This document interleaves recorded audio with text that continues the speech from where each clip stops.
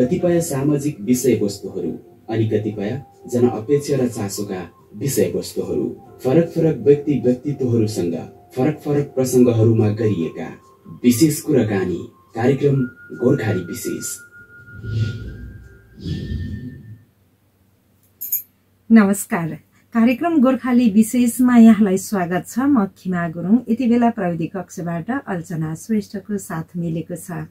आफ्नोपन आफ्नै पहिचान सबल नेपाल हाम्रो अभियान। यो अभियानलाई पोखराबाट बुलन्द गर्दै प्रसारण भइरहेको गोर्खाली रेडियो एक सय छ यति बेला हामी समसामयिक विषयवस्तुमा रहेर छलफल गर्नका लागि उपस्थित भएका छौँ। विशेष गरेर पोखरा महानगरपालिकाका विकासका कार्यहरू के के भइराखेको छ? मानवीय संयन्त्र विकासका निम्ति कस्ता खालका कार्यहरू भइराखेको छ।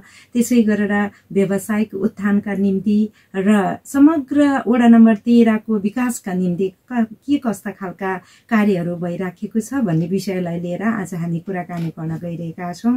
विशेषतः जनप्रतिनिधिको भूमिका र अधिकार कसरी प्रयोग भइराखेको छ भन्ने विषयमा पनि आज हामी कुराकानी गर्छौँ। यिनै विषयमा कुरा गर्नका निम्ति यति बेला हामीसँग पोखरा महानगरपालिका वडा नम्बर तेह्रका वडा सदस्य तथा पोखरा महानगरपालिकाका न्यायिक समिति सदस्य रजनी परियार हुनुहुन्छ। आउनुहोस् यहाँलाई कार्यक्रममा स्वागत गरौँ। बहिनी यहाँलाई कार्यक्रममा स्वागत छ। नमस्कार सम्पूर्णमा गोर्खाली एफएम सुनिरहनु भएको र अनलाइन मार्फत हेरिरहनु भएकोलाई एकदमै हृदयदेखि नै मेरो हार्दिक नमस्कार व्यक्त गर्न चाहन्छु। हजुर।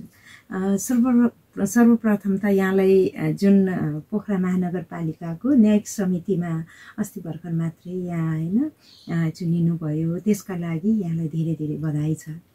एकदमै धेरै धन्यवाद दिजुलाई। म सधैँदेखि हजुरलाई एकदमै गुरुकै रूपमा मान्छु होइन? तपाईँहरू जस्तै एकदम माया सद्भाव राख्ने व्यक्तित्वले गर्दा नै म यहाँसम्म आउने एउटा अवसर मिलेको छ।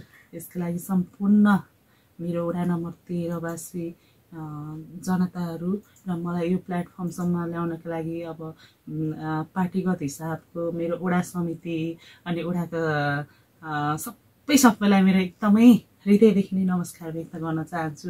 जो मेरो शुभेच्छकहरू हुनुहुन्थ्यो उहाँहरूले मलाई यहाँसम्म ल्याउन एउटा एकदम सक्रिय भूमिका खेलिदिनु भएको छ म यो यसै मिडिया मार्फत चाहिँ सबै जो जसले जहाँ जहाँबाट मलाई सहयोग गर्नुभएको छ उहाँहरूलाई एकदमै हृदयदेखि नै धेरै धेरै धन्यवाद व्यक्त गर्न चाहन्छु। यहाँ कसरी न्यायिक समिति सदस्यसम्म पुग्नुभयो? त्यो यात्रा थोरै हामीलाई सेयर गर्न मिल्छ मिल्छ। यस्तो भयो। अब सुरुमा त अब जनप्रतिनिधि भएर आइराख्दाखेरि महानगरपालिकामा कुन कुन समितिमा कुन कुन सदस्य रहने हो त्यति धेरै कुराहरू थाहा भएन होइन। अनि अहिले चाहिँ महानगरपालिकामा न्यायिक समिति पद खाली रहँदै गर्दाखेरि म पनि एज अ वडा नम्बर तेह्रको जनप्रतिनिधि त्यसमाथि पनि महिला क्लस्टर त्यही माथि पनि दलित क्लस्टरबाट आइसकेपछि मैले पनि अझै पहुँच बनाएर अझै काम गर्नुपर्छ है भन्ने एउटा विश्वासको साथ मैले अपेक्षा जनाएको थिएँ। त्यो अपेक्षा जनाउँदाखेरि अब मलाई सहयोग गर्नुहुने अथवा उहाँ उहाँलाई चाहिँ लाँदा ठिकै हुन्छ भनेर जो जसले जति ठाउँबाट प्रयास गर्नुभयो।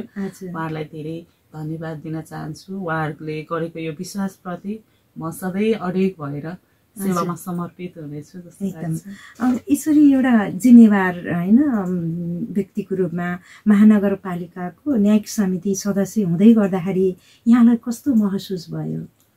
अब सार्वजनिक पद धारण गरेपछि आफूलाई एकदम अधिकार दिने अथवा लिने दुवै पक्षमा भइसकेपछि त्यो जिम्मेवारको बोध त एकदमै हुन्छ नि होइन? कतिपय कुराहरू अब मानव हो मानवीय त्रुटिहरू हुन सक्छन् आफूले नजान्दा नजान्दै अथवा आफ्नो गलत इन्टेन्सन नहुँदा नहुँदै पनि कहिले नचाहेर पनि त्यस्तो कमी कमजोरीहरू हुन सक्छ तर हरेक कुरामा त्रुटि हो हजुर। त्यो कुरा चाहिँ हरेक कुरालाई अलिकति आफूले विचार गरेर त्यसलाई बुझेर अनि अग्रजहरूको पनि राहे बुझेर त्यो काममा चाहिँ गर्ने प्रतिबद्धता व्यक्त गर्न चाहन्छु। एकदमै। जुन खालको यहाँलाई ऊर्जा छ नि होइन? यो ऊर्जा चाहिँ पहिलादेखि नै यहाँ जुन जनप्रतिनिधि नहुँदादेखि नै नै सामाजिक काम गर्दै आउनु भएको थियो र त्यतिखेरदेखि नै म समाजमा केही गर्छु समाजका लागि म एउटा कल्याणकारी काम गर्छु भनेर अगाडि बढ्नु भएको छ। अहिले यहाँसम्म आउँदै गर्दा विगतलाई फर्केर हेर्दा कस्तो महसुस गर्नुहुन्छ? यो त एउटा अपर्च्युनिटी ग्राप गरेर पनि यो ठाउँमा आउनलाई आफू एक्लैले मात्रै पनि हुँदैन होइन। सबैको साथ सपोर्ट माया पाए चाहिन्छ। जुन किसिमको ऊर्जा थियो अब पारिवारिक व्यवस्थापनले गर्दाखेरि अब सामाजिक क्षेत्रमा भिजे तापनि म- म महिला भएर पनि अब समाजलाई एउटा एक खालको हुँदो रहेछ कि समाजलाई मेरो लागि कन्ट्रिब्युसन के हुन सक्छ त? मेरो। योगदान होइन? मैले सक्ने प्रयास के हुन सक्छ भन्ने कुरालाई चाहिँ मलाई सधैँभरि मन छुन्थ्यो। अनि एउटा खुड्कीलाई पार गरिराख्दा अनि सबैले एज जनप्रतिनिधिको रूपमा पार्टीले यो स्थान दिँदाखेरि मैले एकचोट लाइफको यो एकदम टर्निङ पोइन्ट हो। यसलाई चाहिँ मैले मिट गर्नुपर्छ। त्यो। एडभोकेसी गर्ने ठाउँमा यदि म त्यहाँ गएँ भने त्यस्तै समस्यामा परेकालाई समान्तर समतामूलक विकासमा चाहिँ मेरो केही सेवा हुन सक्छ कि भन्ने मैले सधैँभरि सोचेको थिएँ। र यसमा म मैले वडा नम्बर तेह्रमा जसले मलाई जनप्रतिनिधिको रूपमा एकदम आउनको लागि उहाँहरूले गरेको हौसला होइन। माधव सिग्देल किरण बराल अनि रवि बराल लगायत सम्पूर्ण टिम उहाँहरू तेह्र नम्बरको जनताकै एकदमै ठुलो हात हो। यसमा पनि नेपाली काङ्ग्रेसले दिनुभएको प्लेटफर्मलाई चाहिँ म कहिले पनि बिर्सन हुँदैन उहाँहरूले धेरै नै म यहाँ खुड्किलो चढ्या हो नि त। अनि बिस्तारै धेरै कुराहरू सिक्दै पनि छु। गर्दै पनि छु मान्छेले भुल गर्दै सिक्दै एउटा गन्तव्यमा पुग्ने हो। सबैलाई एक खालको मन पर्ने खालको हुन सकिएन होला। तर पनि जनताको अपेक्षाहरूलाई त्यो मध्यनजर गर्दै उनीहरूलाई अझै कसरी सहजीकरण रूपमा उनीहरूलाई सेवा प्रवाह गर्न सक्छ सकिन्छ भन्ने कुरामा चाहिँ सधैँ सोचिरहेको हुन्छु। आफूले समन्वय गर्न सक्ने आफूले भनेर कोही ठाउँमा हुन सक्ने कुराहरूमा चाहिँ मेरो प्रयास सधैँ जारी नै रहेको छ यहाँ अहिले यहाँले पनि उठाउनु भयो म एउटा दलित महिलाबाट होइन प्रतिनिधित्व गर्छु। र यहाँ त यो ठाउँमा आइसक्नु भएको छ एउटा निर्णायक तहमा आउनुभयो। होइन। तर त्यो समूहको अवस्था अहिले कस्तो छ भनेर यहाँले पछाडि फर्केर कतिको अध्ययन अनुसन्धान गर्ने गर्नुभएको छ? यसमा चाहिँ हो महिला पनि कोटाबाटै आएको हो। दलित महिला पनि कोटाबाटै आएको चौरात्तरको संविधानसँगै यो एउटा यस्तो सुनिश्चितता गरिदियो स्थानीय तहमा होइन म्याम? अनि त्यसमा पनि दलितको अब कतिपय अलिकति शिक्षित वर्गले नै तपाईँले दलित भन्न सुहाउँदैन भन्ने कुरा हुन्छ। दलितको। अर्थ चाहिँ पहिला कसरी रह्यो भन्ने कुरामा हामी अलिकति बुझ्नु जरुरी छ। अनि त्यो हेरिराख्दा त्यो लेभल हेरिराख्दा मैले म यो ठाउँमा उभिराख्दा कतिपय त्यो राम्रो ठाउँमा त अवसर नपाएको भन्दा पनि त्यहाँ पुगेकै हुँदो रहेछन् कि उनीहरू हेर्नुहोस् होइन। अनि त्यो नपुगिसकेपछि त जसलाई पीड छ अ, त्यो मान्छेले मात्रै महसुस गर्न सक्छ।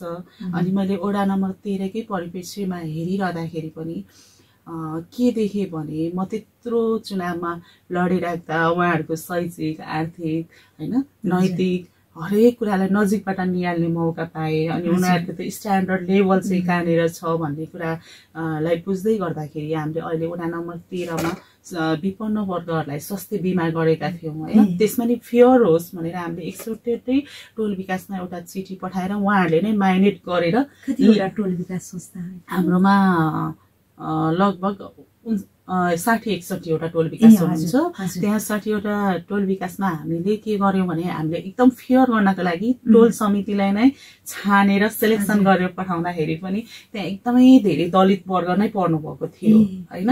विपन्न दलित भनेर स्पेसिफिक रूपमा छुट्याइएको थिएन तर हामीले त्यसरी उहाँहरूलाई पठाउँदाखेरि उहाँहरूले फेयर गरेर पठाउँदाखेरि पनि। एकदम रेसियो चाहिँ दलितकै हाई थियो। त्योबाट पनि हामीले के मूल्याङ्कन गर्न सक्छौँ भने उहाँहरूको स्ट्याटस चाहिँ अहिले पनि कहाँ छ? अहिले पनि त्यो लेभल कहाँ छ? उनीहरूको लागि के गर्न पर्ने हो। भन्ने कुरामा चाहिँ एकदम मेरो मूल्याङ्कनमा है। त्यो चाहिँ छ। अब नहुनु भएको होइन। एक दुईजना अहिले अब यी नौ पर्सेन्ट कोटादेखि लिएर हरेक कुरामा अब अलिकति शिक्षित भएर पनि यो ठाउँमा आउनु भएको छ। तर पनि त्यो लेभल चाहिँ एकदम कम छ। अनि म यो न्यायिक समितिमा आइसकेपछि नि मैले एउटा पैँतिसवटा जिल्लाको न्यायिक समिति सदस्यहरू र उपमेयरहरूको भेटघाट अथवा त्यस्तै कार्यक्रम थियो। त्यो कार्यक्रममा जाँदाखेरि प्रतिनिधित्वमूलक हिसाबमा एउटा मात्रै दलितबाट म परेको थिएँ कि। भनेपछि त्यस्तो हरेक कुरालाई मूल्याङ्कन गर्दाखेरि उनीहरूको लेभल चाहिँ अलिकति तल नै छ। अब उनीहरूलाई उकास्नको लागि अब राज्यले कस्तो एजेन्डा ल्याउनु पर्ने हो.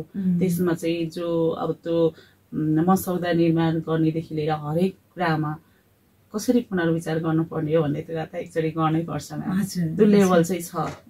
भनेको अहिले एक दुईजना जस्तो अब रजनी परियार यहाँ हजुर। हुनुहुन्छ होइन म्याम। लगायतका केही प्रतिनिधि पात्र अगाडि आउनु भए पनि हजुर। होइन समग्र रूपमा अझै ग्रास रुट लेभलमै धेरैजना हुनुहुन्छ। उहाँको जुन खालको स्थिति हो त्यो चाहिँ अझै पनि तल्लो स्थितिमै हुनुहुन्छ र उहाँहरूलाई माथि बनाउ बनाउनका निम्ति ल्याउनका निम्ति राज्यले पनि केही सोच्नुपर्छ हजुर अब प्रतिनिधित्वमूलक पनि अब नेपालको परिप्रेक्ष्यमा अब यस्तो मिडियाबाटै भन्दाखेरि यसको उम्. अनर्थ नलागोस्। राजनीति यस्तो महँगो भइदियो कि राम्रो राम्रो पोस्टमा जानको यति बेला हामीसँग हुनुहुन्थ्यो पोखरा महानगरपालिका वडा नम्बर तेह्रका वडा सदस्य तथा पोखरा महानगरपालिकाका न्यायिक समिति सदस्य रजनी परियार। यहाँसँगको कुराकानी सुनिसके पछाडि यहाँलाई कस्तो लाग्यो? आवश्यक सल्लाह सुझाव दिनुहोला। अन्त्यमा छौँ हामी यति बेला होइन? यहाँलाई के भन्न मन लागेको कुरा छ भने राख्न अँ। सक्नुहुन्छ सर्वप्रथम त सम्पूर्ण वडा नम्बर तेह्रवासीले मलाई यो प्लेटफर्मसम्म ल्याउनको लागि एकदम सहयोग गर्नुभयो। उहाँहरूलाई एकदमै धेरै धन्यवाद दिन चाहन्छु। होइन? जननिर्वाचित हुनको लागि जनताको मत नै एकदमै महत्त्वपूर्ण हो। उहाँहरूले नै मत दिएको भएर म यो यो ठाउँसम्म आउन पाएको हो। उहाँहरूलाई विशेष विशेष धन्यवाद। अब चाहिँ के हुनुपर्छ भने राज्यले ल्याएका योजनाहरू चाहिँ हाम्रै लागि हो। हामीले नै यसलाई सम्पन्न गऱ्यो भने राष्ट्र समृद्ध हुनुपर्छ भन्ने कुरा चाहिँ हामी जन सम्पूर्ण जनसमुदायले बुझ्न जरुरी छ। अनि सरकारले ल्याएका योजनाहरू पनि जनतामाझ पुर्याउन कसरी सहजतापूर्ण ढङ्गले हामी लाग्नुपर्छ भन्ने कुरा चाहिँ अब निर्माण पक्षमा बस्ने त्यो उल्लेखनीय भूमिकामा रहनुभएकोहरूले चाहिँ एकदमै ध्यान दिएर सहजतापूर्वक सरलतापूर्वक समतापूर्वक समानतामूलक गर्नुपर्छ भन्ने चाहिँ विशेष अनुरोध गर्दै म पनि आफ्नो जनप्रतिनिधि तेह्रको जनप्रतिनिधिको रूपमा महानगरको न्यायिक समिति सदस्यको रूपमा सधैँ वफादार भएर आफ्नो काम सम्पादन गर्ने अठोट राख्दछु धन्यवाद। धेरै धेरै धन्यवाद छ